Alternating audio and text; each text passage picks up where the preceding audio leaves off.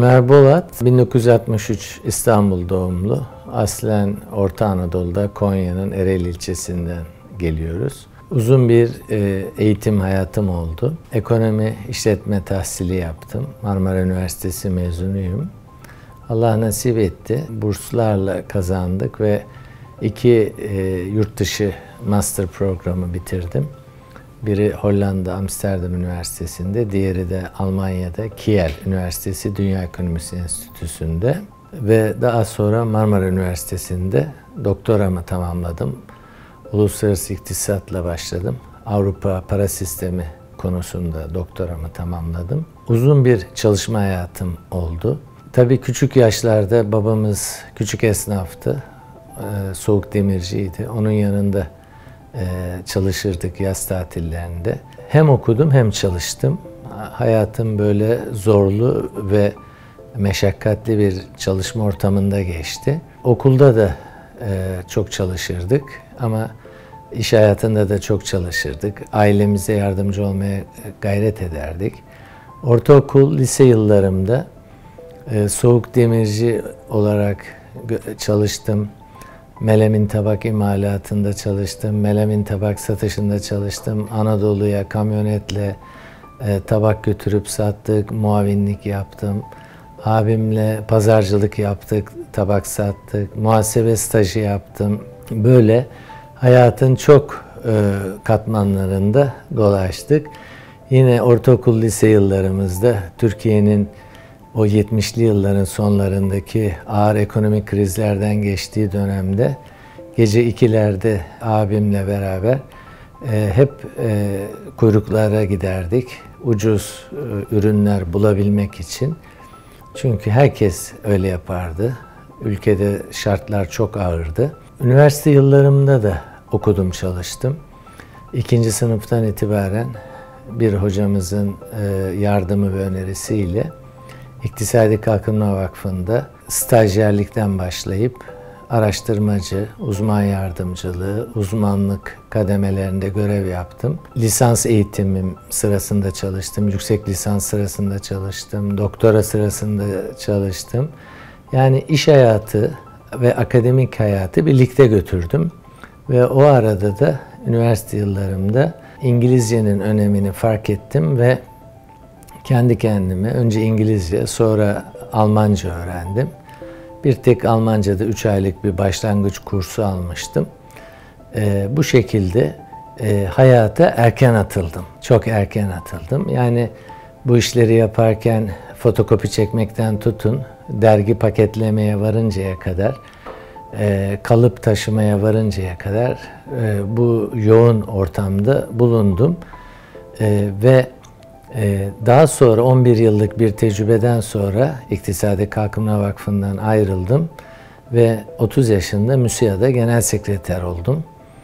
7 ee, yıl profesyonel olarak MÜSİAD'da genel sekreterlik yaptım. Yönetim kurulunun doğal üyesi konumundaydık. 2000 yılında 37 yaşımda Albayrak grubuna geçtim. Dış İlişkiler Müdürü ve Genel Koordinatör Yardımcısıydım.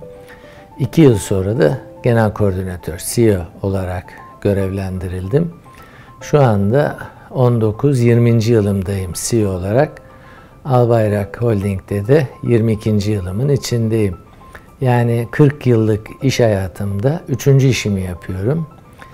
Tabi master doktora sırasında akademik çalışmalarım oldu. Yoğundu. E, iş hayatının içindeydim her zaman. İş dünyası kuruluşlarının içindeydim. 2000 yılında e, Albayrak grubuna geçince Müsiyat Yönetim Kurulu üyesi ve genel e, başkan yardımcısı oldum. 4 yıl bu görevimi tamamladıktan sonra 2004 yılında Müsiyat Genel Başkanı seçildim. 2004-2008 yılları arasında iki dönem genel başkan olarak görev yaptım.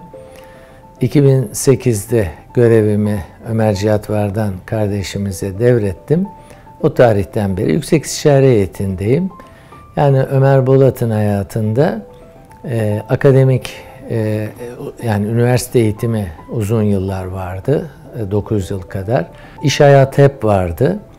E, başta İktisadi Kalkınma Vakfı, MÜSİAD, Daha sonra DEİK Yönetim Kurulu ve İcra Kurulu üyeliği, Dış Ekonomik İlişkiler Kurulu'nun Yönetim Kurulu ve İcra Kurulu üyeliği, Türkiye Odalar ve Borsalar Birliği'nde Pakistan e, Ortak Ticaret Odası Türkiye Başkanlığı gibi görevlerde bulundum. Bunun yanında Ömer Bolat'ın üçüncü bir yönü de e, gönüllü teşekkürlerde görev yapması. Hem iktisadi kuruluşlarda hem de hayır kurumlarında, eğitim kurumlarında görevler yaptım.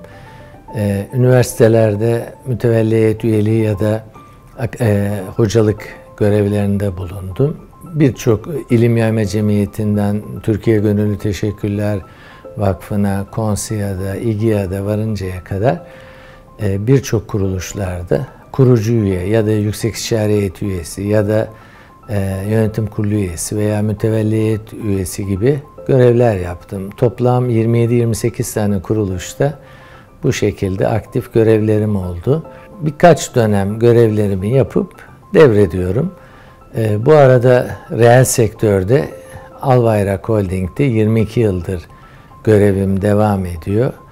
Ee, ve tabii uzun bir çalışma hayatı, 40 yılı geride bıraktık. Bu arada tabii e, yaklaşık 30 senelik evliyim, iki çocuğum var, e, damadım var, iki torunum var.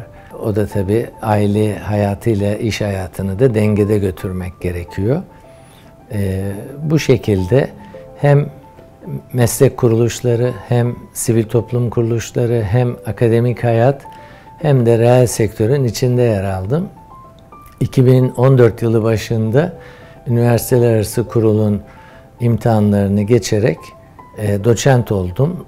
Dışarıdan doçent oldum. Daha sonra 5 e, yıl Sabahattin Zaim Üniversitesi'nde işletme bölümünde yüksek lisans dersleri verdim kadrolu olarak. E, part time çalıştım. Daha sonra da e, bu ikinci yılım İstanbul Ticaret Üniversitesi'nde İşletme Fakültesi'nde yüksek lisans dersleri veriyorum. Özellikle gençlere girişimcilik ve yeni iş modelleriyle e, stratejik yönetim ve liderlik teorileri başlıklı dersler veriyorum. Bu şekilde 40 yıllık akademik hayatımın, özel sektör iş hayatımın ve e, iş dünyası kuruluşlarında elde ettiğim tecrübelerden harmanlanmış bir teori ve tecrübe, pratik karışımı bir dersler icra ediyoruz öğrencilerimiz için. Şöyle düşünüyorum, hayata çok erken yaşta atılarak doğru yaptığımı düşünüyorum. Ve çok çalışmanın çok önemli olduğunu düşünüyorum. Allah çalışana veriyor çünkü Allah adildir. Ee, bu noktada e, doğru zamanlarda doğru kararlar verdiğimi e, görüyorum. Tabii ki yanlışlarım olmuştur, eksikliklerim olmuştur. Bunun farkındayım. E, ama e, gördüğümde dolu dolu bir hayat geçirdim. Zaten e, yaşımı soranlara ben 300 yaşındayım diyorum. Şaşırıyorlar ne demek istiyorsun diye. Yani e, hayatı dolu dolu yaşadım o kadar çok e, konular sığdı ki, o kadar çok alanda işler sığdı ki e, 300 yıllık bir hayata e, değer bir hayat yaşadığım kanaatindeyim. Tabii bunun getirdiği yıpranma da var, yorgunluk da var. E, ama insan son nefesine kadar çalışmak zorunda. Bu anlamda istenilen biri olmak çok önemli. Aranılan biri olmak çok önemli. Yani eğer siz hep isterseniz, hep siz aramaya kalkarsanız, makamları mevkilerinden peşinden koşarsanız o farklı bir şey. Onda da belki başarılı olabilirsiniz ama işinizi doğru yaparsanız, e, performans gösterirseniz, e, itibarlı, güvenilir, e, dürüst bir duruşunuz olursa ve karşınızdakine güven verirseniz herkes sizi sizi yanına almak ister ve aranılan bir kişi olursunuz. Size görevler teklif edilir. Bu şekilde bir e, eğilimi gördüm, yaşadım. E, bu anlamda e, geçmişe dönüp baktığımda Allah'a şükrediyorum. Bana bu imkanları ve bu hayatı nasip ettiği için. Elhamdülillah ailemle de huzurluyum, mutluyum. Tabii ki insanın daha farklı görevleri, daha üstün işleri yapabilir imkanlar olursa ama şunu bilmek lazım. Ee, kaderin önüne geçilemez. Kaderinizde, alnınızda ne yazıldıysa siz o kadarını yapabilirsiniz. Aşırı hırs, aşırı ihtiras insanları yanlışlara götürür. Aşırı güçlü olmak, aşırı zirvede olmaya çalışmak gibi ihtiraslara sürüklenmedim. Kanaatkar olmaya çalıştım. Her zaman Allah'a şükrettim. Ee, ve önüme çıkan fırsatlar ya da önüme çıkan e, e görevler konusunda işimi doğru yapmaya çalıştım ve e, işimin hakkını vermeye çalıştım e, ve e, yaptığım işin e, memnuniyet duyulmasını sağlamaya çalıştım. Bunu yaptığınız zaman zaten huzurlu oluyorsunuz. Eğer e, başarılı bir icraat, performans da ortaya koyarsanız e, herkes de sizi takdir ediyor.